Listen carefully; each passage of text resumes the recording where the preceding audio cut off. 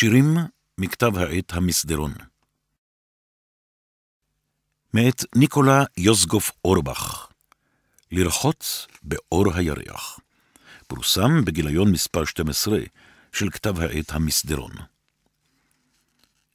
ובשובו לעת ערב, לאה וחבוי, גייס כל מאורו ודלק לפניי כירח שיכור ומאוהב, ואף שידע שאין בכוחו להאיר אפלתי, נשאר לצידי כל הלילה, וחיבק חשכתי עד נתבהרה ונתכחלה.